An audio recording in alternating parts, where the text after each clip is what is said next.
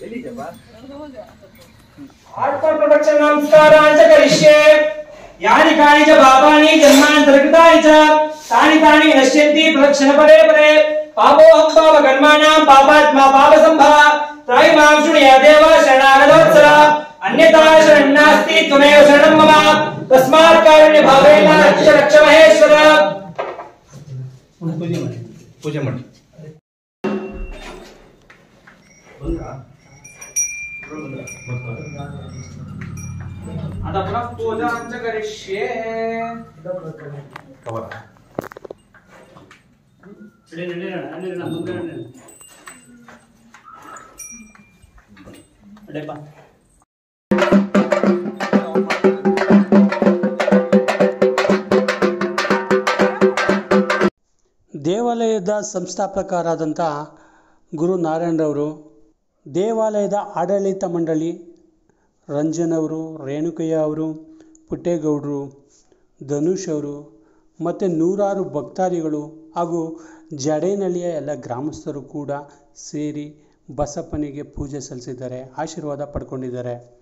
ಪ್ರತಿನಿತ್ಯ ಏನಾದರೂ ಒಂದು ಆಶ್ಚರ್ಯಕರ ಘಟನೆ ನಡೆಯುತ್ತೆ ಸ್ನೇಹಿತರೆ. ಶಿವರಾತ್ರಿ ದಿನ ಮಧ್ಯರಾತ್ರಿ ಸುಮಾರು ಒಂದು ಗಂಟೆಗೆ ಅಗೋರಿಗಳೊಬ್ಬರು ಬರ್ತಾರೆ ದೇವಾಲಯಕ್ಕೆ. ಸೊ ಅವ್ರು ಹೇಳ್ತಾರೆ, ಇದು ವಿಶ್ವ ಪ್ರಸಿದ್ಧಿಯಾಗುತ್ತೆ ಹದಿಮೂರನೇ ಜ್ಯೋತಿರ್ಲಿಂಗ ಆಗುತ್ತೆ ಅಂತ ಹೇಳೋಗ್ತಾರೆ ಇಲ್ಲಿ ಬರುವಂಥ ಭಕ್ತಾದಿಗಳು, ಅವ್ರದ್ದೇ ಆದಂಥ ಅನುಭವಗಳನ್ನು ಶೇರ್ ಮಾಡ್ಕೋತಾರೆ. ಸೊ ಕೇಳಿದ್ರೆ ನಮಗೆ ಒಂದು ಆಶ್ಚರ್ಯ ಆಗುತ್ತೆ. ಸೊ ಅವ್ರು ಏನೋ ಒಂದು ಕಷ್ಟದಲ್ಲಿದ್ದು, ಅದು ಬಂದು ಇಲ್ಲಿ ಬಂದು ಪೂಜೆ ಮಾಡೋದ್ಮೇಲೆ ಎಲ್ಲ ಪರಿಹಾರ ಆಯಿತು, ಇವಾಗ ನೆಮ್ಮದಿಯಾಗಿದ್ದೀವಿ ಏನೊಂದು ಸಂತೋಷ ಆಗ್ತಿದೆ. ಈ ಥರ ಅವ್ರದ್ದೇ ಆದಂಥ ಅನುಭವಗಳನ್ನ ಶೇರ್ ಮಾಡಿಕೊಂಡಾಗ ನೋಡೋಕ್ಕೆ ಕೇಳೋಕ್ಕೆ ತುಂಬಾ ಖುಷಿಯಾಗುತ್ತೆ ಮತ್ತು ಆಶ್ಚರ್ಯನೂ ಕೂಡ ಆಗುತ್ತೆ. ಯಾರೋ ಒಬ್ಬರು ಕೇಳಿದ್ರು, ಸರ್, ಇದು ಸಾಟರ್ಡೆ ಮಾತ್ರನಾ ಸಂಡೇ ಮಾತ್ರನಾ? ಪ್ರತಿದಿನ ಪೂಜೆ ನಡೆಯುತ್ತೆ. ಮತ್ತು ವಿಶೇಷವಾಗಿ ನಿಮಗೆ ಅಮಾವಾಸ್ಯೆ ಮತ್ತು ಹುಣ್ಣಿಮೆ ದಿನಗಳಲ್ಲಿ ಸುಮಾರು ಒಂದು ಹದಿನೈದರಿಂದ ಇಪ್ಪತ್ತು ಸಾವಿರ ಜನ ಅಷ್ಟು ಸೇರ್ತಾರೆ ಈ ದೇವಾಲಯಕ್ಕೆ. ಸೊ, ಒಂದು ಕೂಷ್ಮಂಡ ಆರತಿ ಮಾಡ್ತಾರೆ. ಪ್ರತ್ಯಂಗಿರಿ ಹೋಮದಲ್ಲಿ ಪಾಲ್, ಪಾಲ್ಗೊಳ್ತಾರೆ. ನೀವು ಕೂಡ ಪ್ರತ್ಯಂಗಿರಿ ಹೋಮದಲ್ಲಿ ಪಾಲ್ಗೊಳ್ಳಿ.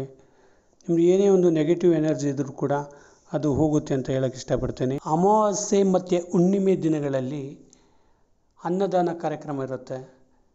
ತಮಗೇನಾದರೂ, ಯಾರಿಗಾದರೂ ಒಂದು ಅನ್ನದಾನ ಮಾಡಬೇಕು ಅಂತ ಇಚ್ಛಿಸುವವರು, ಅಲ್ಲೇ ನೀವು ಕೂಡ ಬಂದು ಸೇವೆ ಸಲ್ಲಿಸ್ಬೋದು. ಆ ದೇವರು ಎಲ್ಲರಿಗೂ ಒಳ್ಳೇದು ಮಾಡಲಿ. ಇದೇ ಮೊದಲನೇ ಬಾರಿಗೆ ನಮ್ಮ ಯೂಟ್ಯೂಬ್ ಚಾನಲ್ ನೋಡ್ತಿದ್ರೆ ದಯವಿಟ್ಟು ಸಬ್ಸ್ಕ್ರೈಬ್ ಮಾಡಿ ವಿಡಿಯೋನ ಲೈಕ್ ಮಾಡಿ ಶೇರ್ ಮಾಡಿ. ಧನ್ಯವಾದಗಳು.